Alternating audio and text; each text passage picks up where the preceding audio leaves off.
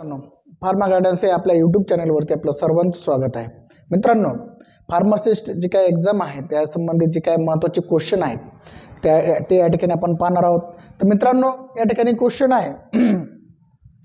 Which which one of this is not a met mental disease खालीलपैकी कोणता mental disease नाही आहे तर या ठिकाणी पाहू शकतो मित्रांनो सायकोसेस न्यूरोसेस सिझोफ्रेनिया अरिथमिया या ठिकाणी जे काय सायकोसेस न्यूरोसेस आणि सिझोप्रेनिया आहे हे मेंटल डिसऑर्डर मेंटल डिसऑर्डर आहेत किंवा मग सायकोलॉजिकल डिसऑर्डर आहेत. परंतु अरिथमिया हा मेंटल डिसऑर्डर नाही तो हर्ट रिलेटेड डिसऑर्डर आहे.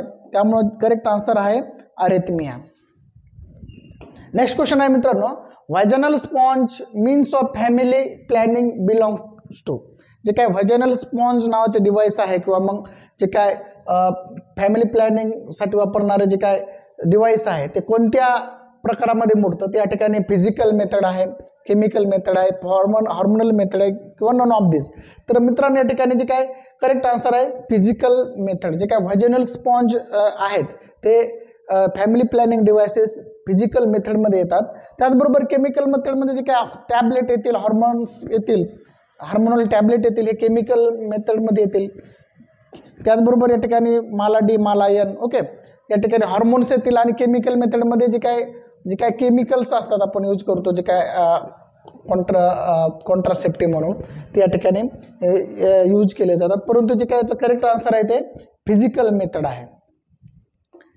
नेक्स्ट क्वेश्चन आहे Mala D oral pill contains मालाडीमध्ये कोणत्या प्रकारचे काय ड्रग आहे किंवा केमिकल आहेत? तर या ठिकाणी ऑप्शन आहेत oestrogen progesterone oestrogen and progesterone none of this मित्रांनो जे काय करेक्ट आन्सर आहे इस्ट्रोजन अँड प्रोजेस्टेरन माला डी नावाचे जे काय ओरल पिल आहे त्यामध्ये इस्ट्रोजन आणि प्रोजेस्टोरन हे दोन हार्मोन असतात त्यांचं कॉम्बिनेशन असतं. त्याचबरोबर नेक्स्ट क्वेश्चन आहे सहेली न्यू ओरल कॉन्ट्रासेप्टिव्ह कंटेन्स जे काय सहेली नावाचे जे काय ब्रँड आहे ओरल कॉन्ट्रासेप्टिव्ह आहे त्यामध्ये कोणत्या प्रकारचं ड्रग आहे? तर या ठिकाणी उत्तर आहे मित्रांनो या ठिकाणी. सेंटोक्रोमन सेंटोक्रोमन हे काय आहे? सहेलीमध्ये प्रेझेंट असलेलं ड्रग आहे. इस्ट्रोजन आणि प्रोजेस्टेरॉन हे कशामध्ये आहेत? मालाडीमध्ये कॉम्बिनेशन दोईचं ओके परंतु सहेलीमध्ये काय आहे? सेंट्रोक्रोमन नेक्स्ट क्वेश्चन आहे which one of the is is a rod shaped micro organism कोणत्या मायक्रो ऑर्गॅनिझमचा शेप रॉड सारखा आहे? रॉड सारखा आहे. तर या ठिकाणी मित्रांनो जे काय या ठिकाणी आपण पाहू शकतो जे काय बॅसिली नावाचं जे काय मायक्रो ऑर्गॅनिझम आहे त्याचा शेप रॉड शेप्ड आहे रॉड सारखा आहे. ओके परंतु याचं करेक्ट आन्सर बॅसिल आहे. त्याचबरोबर कॉकी हा काय आहे? कॉकी ओव्हल शेप्ड आहे गोलाकार आहे किंवा मग आपण त्याला सर्क्युलर सुद्धा म्हणतो. कॉकी त्याचबरोबर व्हिब्रिओ काय आहे? कोमा सारखा आहे असा कोमा व्हिब्रिओ कोलेरा आणि स्पायरोची ती काय आहे? स्पायरल आहे. स्पायरल आहे किंवा हेअर लाईक आहे. स्पायरल किंवा हेअर लाईक आहे. हेअर लाईक आहे. म्हणजे स्पायरोचिटीचा शेप कसा आहे? हेअर लाईक आहे. विब्रिओचा कोमासारखा आहे आणि कॉकीचं काय? सर्क्युलर किंवा गोलाकार आहे. परंतु बॅसेलीचा जे काय शेप आहे आकार आहे तो रॉड सारखा आहे काठीसारखा आहे. ओके त्याचबरोबर नेक्स्ट क्वेश्चन आहे. स्पायरोचिटी इज स्पायरोचिटी इज कोणत्या शेपचा आहे स्पायरोचिटी आता रॉड शेप आपण बॅसिली पाहिला. ओके स्पेरिकल शेपड कॉकी पाहिला ओके त्यानंतर रन ऑफ दिज नाही आहे. तर ह्या स्पायरल शेपड काय आहे? स्पायरो चिठ्ठी आहे. करेक्ट आन्सर आहे स्पायरो चिठ्ठी ओके नेक्स्ट क्वेश्चन त्याचबरोबर नेक्स्ट क्वेश्चन आहे water borne diseases water borne डिसीजचं example कोणतं आहे खालीलपैकी मित्रांनो? त्या ठिकाणी तुम्ही पाहू शकता. या ठिकाणी ट्युबरक्लोसिस काय एअर बॉर्न आहे एअर बॉर्न आहे. त्याचबरोबर कोलेरा काय हा वॉटर बॉर्न डिसीज आहे. म्हणजेच करेक्ट आन्सर आहे कोलेरा त्याचबरोबर मिसेल्स हा काय होऊ शकतो? जे काय संसर्गजन्य आहे कॉन्टॅक्ट कॉन्टॅजियस डिसीज आहे इन्फ्लुएन्झा सुद्धा बॉर्न आहे. ओके एअर ड्रॉपलेट ओके तर असा करेक्ट आन्सर आहे कोलेरा जो की वॉटर बॉर्न आहे जे काय दूषित पाणी असेल किंवा मग अन्नपदार्थ असेल फूड असेल त्याच्यामधून हा कोलेरा नावाचा डिसीज होतो. त्याचा जे काय कॉझिटिव्ह मायक्रो ऑर्गॅनिझम आहे vibrio cholera vibrio cholera okay vibrio cholera आहे त्याचं काय आहे? पॉझिटिव्ह मायक्रो ऑर्गॅनिझम आहे. हे तुम्ही लक्षात ठेवा. नेक्स्ट क्वेश्चन आहे. डस्ट बॉर्न डिसीज कोणता? डस्ट बॉर्न डिसीजीज तर या ठिकाणी मित्रांनो आपण तुम्ही पाहू शकता डायरिया वॉटर बॉर्न किंवा मग कॉन्टेमिन कॉन्टेमिनेटेड फूड असेल त्याच्यामधून होतो. टायफॉईडसुद्धा वॉटर आणि फूड याच्यामधून होतो. त्याचबरोबर आरिथमिया हर्ट रिलेटेड डिसीज आहे. हा पण डस्टमधून होत नाही. परंतु ट्युबरक्लोसिस हा डस्ट बॉर्न आहे जे काय एअर ड्रॉपलेट असतात. किंवा मग जे काय हवेमार्फत होणारा हा डिसीज आहे ट्युबरक्लोसिसचा प्रसार कुठून होतो? जे काही एअर ड्रॉपलेट असेल डस्ट असेल त्यामार्फत याचा किंवा हवेमार्फत किंवा शोषणामार्फत याचा प्रसार होतो म्हणून काय हा? डस्ट बॉर्न डिसीज हा ट्युबरक्लोसिस आहे. करेक्ट आन्सर काय ट्युबरक्लोसिस नेक्स्ट क्वेश्चन आहे मित्रांनो. The disease whooping cough is caused by जे काय हुपिंग कप नावाचं जे काय आजार आहे किंवा डिसीज आहे कोणत्या मायक्रो ऑर्गॅनिझममुळे होतं? त्याचे उत्तर आहे याचं उत्तर आहे जे काय हुपिंग कप आहे तो बॉर्डिटेला पर्टोसिस या मायक्रो ऑर्गॅनिझम होतो. बॉर्डिटेला पर्टोसिस त्याचबरोबर मित्रांनो क्वारिनो बॅक्टेरियम डिप्थेरी याच्यामुळे डिप्थेरिया नावाचा जे काय डिसीज होतो डिप्थेरिया त्याचबरोबर साल्मेनला टायफीमुळे टायफ टायफॉइड नावाचा काय आपल्याला डिसीज होतो. त्याचबरोबर जे काय अदर जे काय नॉन ऑफ दिस यामध्ये आपण कोणतेही ऑप्शन नाही आहे परंतु खरं जे काय करेक्ट आन्सर आहे Bordetella pertussis pertussis okay next question आहे in diphtheria the causative organism affect diphtheria डिसीजमध्ये जे काही मायक्रो ऑर्गॅनिझम आहे कोणत्या पार्टला किंवा सिस्टीमला अफेक्ट करतं त्या ठिकाणी आपण पाहू शकतो upper respiratory tract intestine brain आणि लंग्स तर करेक्ट आन्सर आहे मित्रांनो अप्पर रेस्पिरेटरी ट्रॅक जे काय डिप्थेरियाचं डिप्थेरिया डिप्थेरियाचं जो काय मायक्रो ऑर्गॅनिझम आहे अप्पर रेस्पिरेटरी ला काय करतो? अफेक्ट करतो. त्याचबरोबर जे काही इन्स्टेस्टाईन ब्रेन किंवा लंग्ज आहेत तर इन्स्टेस्टाईनमध्ये जे काय आपण टायफॉईड असेल किंवा इतर जे काही मायक्रो ऑर्गॅनिझम आहेत ते अफेक्ट करतात ब्रेनवर किंवा लंग्सवर जे काही एअरबॉर्न डिसीज आहेत ते अफेक्ट करतात. परंतु जे काय अप्पर रेस्पिरेटरी ट्रॅकवर डिप्थेरिया मायक्रो ऑर्गॅनिझम काय करतो? अफेक्ट करतो. नेक्स्ट क्वेश्चन आहे मित्रांनो. Protozoal disease protozoa protozoal disease is म्हणजे प्रोटोझॉल डिसीजचं एक्झाम्पल कोणतं आहे? तर याचं एक्झाम्पल आहे मित्रांनो या ठिकाणी ऑप्शन दिलेले आहेत. डिप्थेरिया टिटॅनस डायरिया आणि मलेरिया त्या ठिकाणी मित्रांनो मलेरिया हा प्रोटोझोल डिसीज आहे डायरिया मायक्रो बॅक्टेरियामुळे होतो. टिटेनस हा टिटेनस मायक्रोबॅक्टेरियम टिटेनियामुळे होतो. डिप्थेरिया हा कोरोना बॅक्टेरिया डिप्थेरीमुळे होतो. परंतु जे काय मलेरिया आहे हा अनेफिलस जे काय मॉस्किटो आहे किंवा जे काय प्लाझ्मोडियम फाल्सिपेरम ह्या काय होऊ शकतो?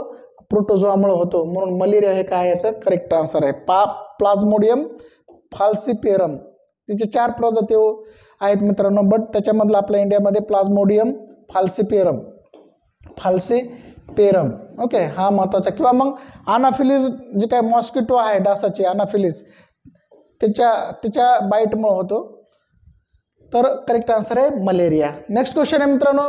The causative agent for filariasis जे काय हत्ती रोग आहे फिलॅरियासिस आहे त्याचा कॉझिटिव्ह एजंट कोणता आहे? तर या ठिकाणी म्हणजे मायक्रो कोणत्या मायक्रो ऑर्गॅनिझममुळे फिलॅरियासिस होतं? तर याचं उत्तर करेक्ट आहे.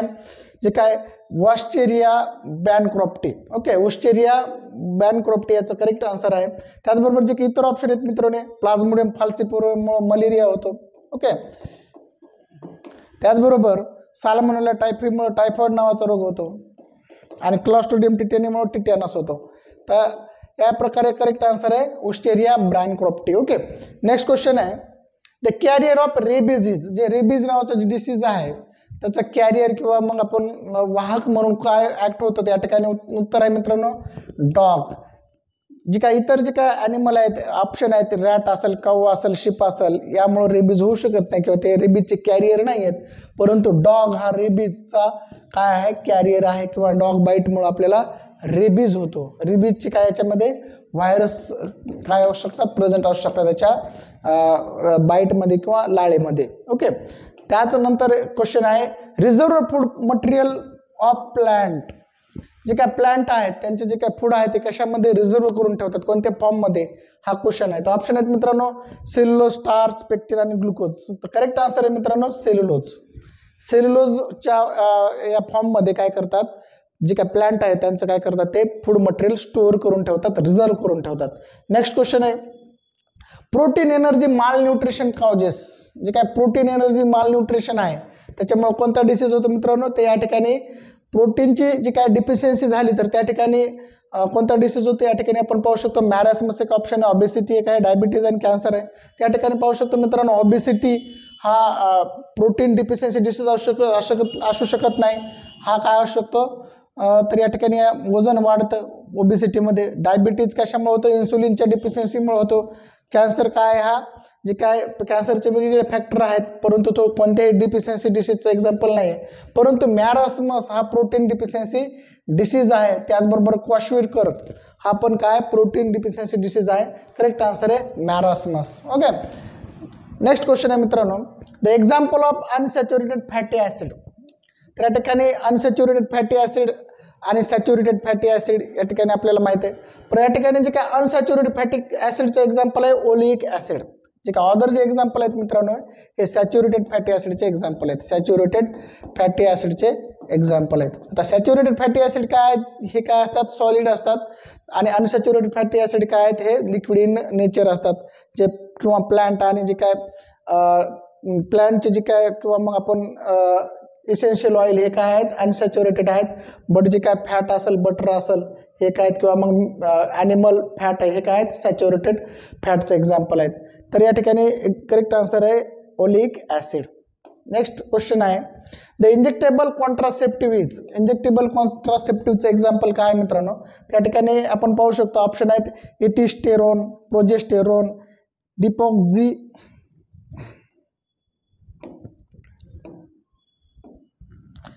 dep depo medroxy progesterone acetate त्याचबरोबर none of this correct answer आहे मित्रांनो डिपोमेटॉ मेट्रॉक्झी प्रोजेस्टेरोन ॲसिटेट हे काय इंजेक्टेबल कॉन्ट्रासेप्टिव्हचं एक्झाम्पल आहे. म्हणजे हे इंजेक्टेबल कॉन्ट्रासेप्टिव्ह आहे. ओके लक्षात घ्या.